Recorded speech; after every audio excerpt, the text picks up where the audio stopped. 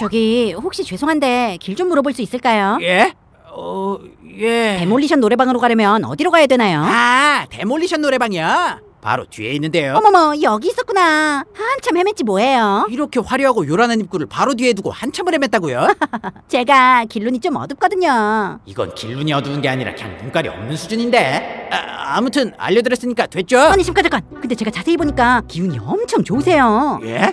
기운이요? 네 얼굴에서 뿜어져 나오는 기운을 보니까 나중에 크게 성공하고 부모님께 효도하시겠어요. 아, 그, 감사합니다. 근데 그 큰 기운이 쭉 뻗어나가지 못하고 꽉 막혀있네. 어, 잠깐만. 이 레파토리 설마 돌을 아십니까? 이름이 어떻게 되세요? 돌을 아십니까 따위한테 실명을 밝혔다간 골치 아파질 거야. 가짜 이름을 말하자. 어, 저 그 뭐냐 그 어, 응우엔 꾸억 응우엔이요. 그거 진짜 이름 아니잖아요.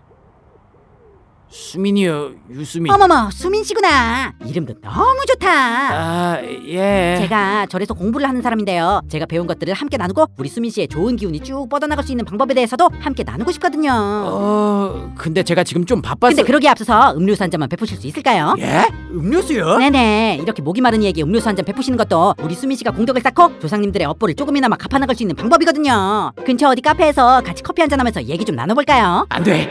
이상 말려들면 정말 끝장이라고. 단호하게 거절해. 확실하게 싫다고 말하란 말이야. 그럼 요 근처에 카페 많은 곳 있는데 거기로 갈까요? 아이씨 뭐 하는 거야 또 빡새끼야 빨리 쌍욕 갈기면서 남의 시간 뺏지 말고 꺼지라고 하란 말이야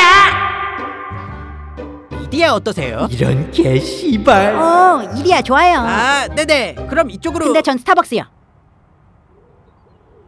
수민 씨랑 저랑 이렇게 만난 것도 다 인연이에요. 우리 수민 씨가 좋은 기운을 발산하지 못하고 있으니까 저랑 이렇게 만나서 모든 일이 잘 풀리도록 거든요.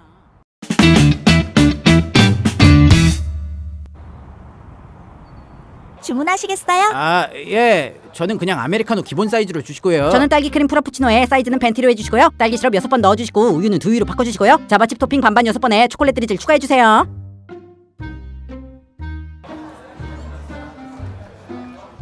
그래 기왕 이렇게 된 거 얼마나 개소리를 하는지 한번 들어보자고 어차피 도를 아십니까 인건 진작에 간파했으니까 무슨 말을 해도 난 절대 안 넘어갈 거라고 그래요? 그럼 그 기운이란 걸 어떻게 풀어주는데요? 제가 할 수 있는 거 다 할게요 빨리 알려주세요 제발 제발 수민 씨 조상님 중에 좀 억울하게 돌아가셔서 원한을 가지고 구천을 떠들고 있는 분들이 있어요. 그래서요? 그래서 그 조상님께서 성불을 하시려면 수민 씨가 조금 정성을 들여야 돼요. 정성이요? 네, 쉽게 말하면 제사를 드려야 해요. 제사. 아 제사? 네네, 제사. 그러면 뭐 제가 알아서 따로 드리면 되는 건가요? 아니 아니 일단 닥치고 들어보세요. 이게 어떤 식이냐면 수민 씨가 저희한테 돈을 주시면 저희가 얼마를 주시느냐에 따라 맞춰서 제사상을 준비해드리거든요. 오 좋네요 제사 드리는 법 몰라가지고 막막했는데 그쵸 그쵸. 그러면 얼마 정도를 드려야 뭐 한 100만 원?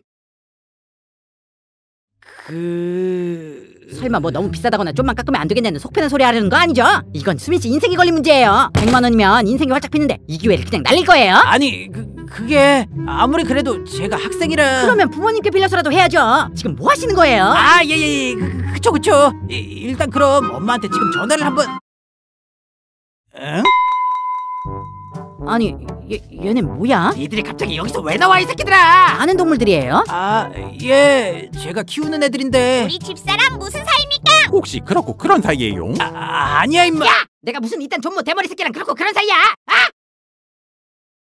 아, 음, 음. 어, 도- 동물들이 귀엽네요. 그렇고 그런 사이가 아니면 왜 같이 카페에서 데이트 중입니다. 아니 데, 데이트가 아니라 내가 너희 주인님을 좀 도와드리려고. 사겨라 사겨라 그만 좀 해 이 새끼들아 그런 거 아니라고 그, 그래 그런 거 아니. 내가 설마 이분이랑 사귀겠냐? 나도 눈이 있는데 이분은 내가 제사 지내는 거 도와주실 분이야 명절에 제사상 차리는 거 거들지도 않고 누워서 TV만 보던 새끼가 갑자기 뭔 제사입니까? 아 그게 너희 주인님이 인생이 잘 안 풀리는데 그게 다 조상님 때문이거든. 조상님? 그게 누군데요? 아니 씨발 이름이 조상님인 게 아니라 집사 인생을 망치는 새끼면 제사를 지낼 게 아니라 신고해야 하는 거 아닙니까? 당장 경찰에 신고합시다. 뭐? 경찰? 아니 미친놈들아 그게 아니라 여보십시오. 경찰입니까? 여기 의정부 신각동 스타벅스인데 아이 뭐 하는 거야 이 새끼야 주- 죄송합니다 저희 집 동물들이 워낙 개망난 이 새끼들이라 응? 뭐- 뭐야 어디 가셨지? 아까 경찰 소리 듣더니 뒤도 안 돌아보고 존나 빨리 도망치던데요 뭐? 오랜만에 제대로 된 후구 물어서 좋아했는데 이렇게 어처구니 없게 경찰 부르다니 그 망할 짐승 새끼들 두고 보자